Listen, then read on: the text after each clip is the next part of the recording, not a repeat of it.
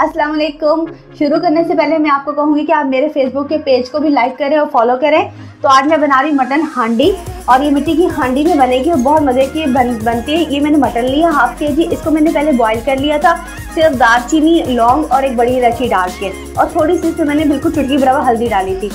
और ये इसकी यखनी है एक कप एक कप से आप थोड़ी सी ज़्यादा कर लें।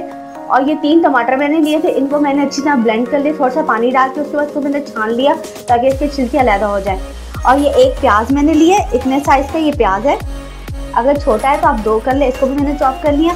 और वन टेबल स्पून लहसुन अदरक का पेस्ट है। और एक आधा इसमें ये, आधा कप ये दही का है। दही की पैमाइश मैंने इससे की है, अमूमन ये डोई घर में होती है। इसी से पैमाइश की जा रही होती है, दही की भी कुकिंग ऑयल की भी। तो इसी से मैंने लिया और ये मैंने एक लिए।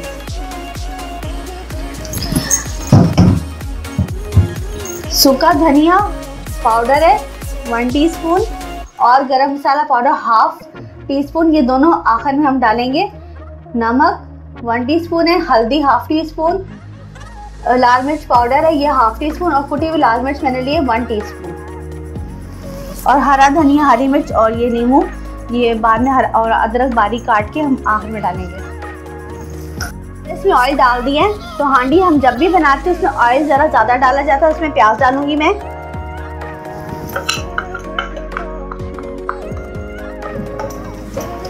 और बस इसको थोड़ा सा मैं इसको लाइट ब्राउन करूँगी। बिल्कुल डार्क कलर नहीं करना इसका।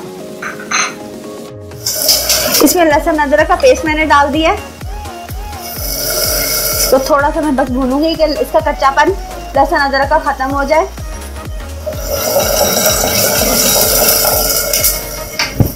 अच्छा मैं आपको बताना भूल गई, इसमें मैंने चुटकी बराबर ही कसूरी मेथी डालूँगी। ये वाकई कसूर से मंगवाई है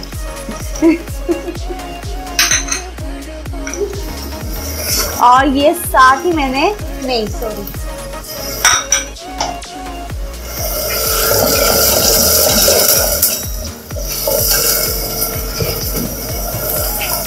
थोड़ा सा पानी डालेंगे। ये यखनी ही है, मैंने डाली है।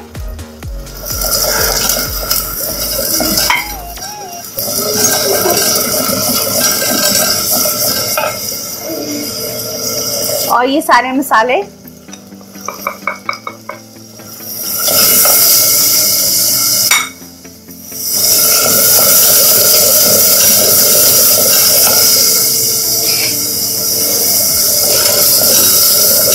ये मसाले भुन गए हैं।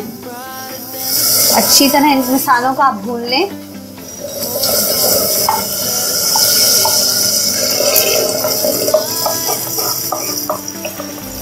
टमाटर। अब टमाटर को मैं भूनूँगी कि इसका कच्चापन खत्म हो जाए। अगर आपने गोश्त को बॉईल नहीं किया हुआ तो आप टमाटर डालने से पहले इसमें गोश्त डाल दें, कच्चे गोश्त को, और उसमें सारे मसाले डाल के तो उसको गोश्त का पानी खुश करें अच्छी तरह, फिर टमाटर डाल दें। तो वो उसके बाद इसी तरह ही सारा इसका, इसको बनाना है आपने। और उसको आप, उसको टाइम ज़्यादा ज़्यादा लगेगा तो गलने में। ये मैंने गोश्त को पहले से बॉईल किया हुआ था।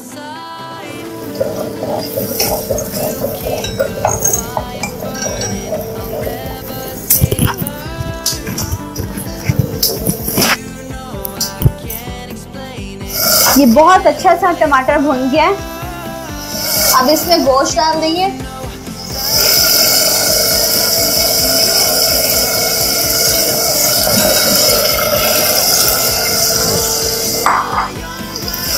एक मिनट के लिए इसको बस मैं इस तरह चलाऊँगी चम्मच।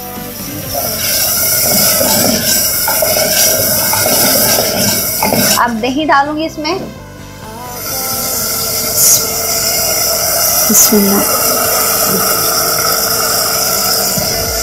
और इसको अब अच्छा सा भूनूँगी।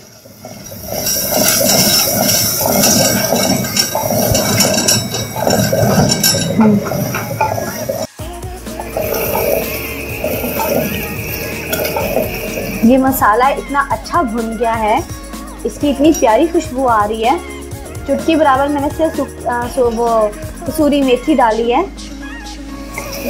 और ये मसाला भुन गया। अब इसमें मैं यखनी डालूँगी। इसमें अभी तक मैंने सूखा धनिया और गरम मसाला पाउडर नहीं डाला। सूखा धनिया भुना हुआ और कुटा हुआ सूखा धनिया फ्रेश आपने डालना है इसमें। यखनी मैंने डाली है। एक कप। और इसको अब मैं रख दूँगी कि ये पके। गोश्त तो गला हुआ ही है, लेकिन इतना भी का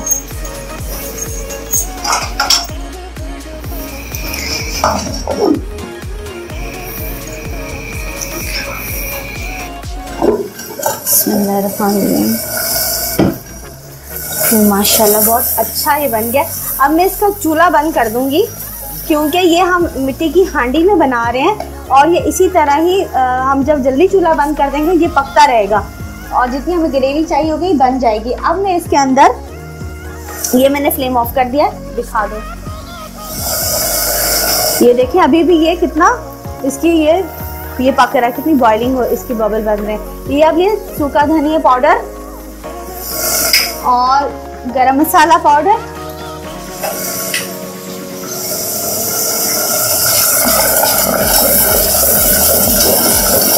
अब ये अदरक, कटी हुई बारीक हरी मिर्चें,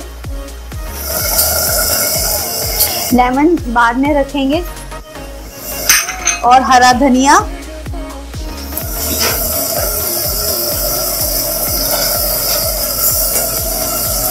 इसको मैं मिक्स करके और अब मैं इसको डिश आउट करूँगी। मेरी डिश तैयार है। मटन हांडी तैयार है। ये देखिए, अभी तक इसके कितने ज़बरदस्त हो रहे बन रहा है ये। और मटर हांडी तैयार है। मेरे चैनल को सब्सक्राइब करें, वीडियो को शेयर करें लाइक करें। अल्लाह हाफिज़।